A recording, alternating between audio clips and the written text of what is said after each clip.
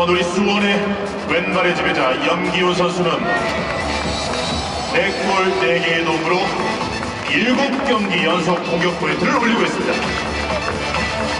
수험생 여러분 수원의 승리를 위해서 목소리를 모아주시고 지금부터 전광판을 보고 함께 해 주시기 바라겠습니다.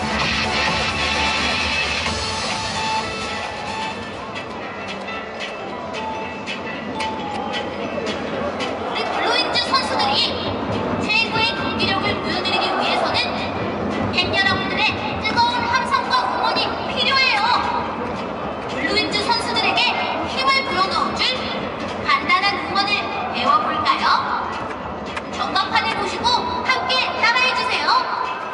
자, 그럼 우리 다 같이 아길레우 식구들과 함께 응원 시작해볼까요? 먼저 234 수원 응원입니다.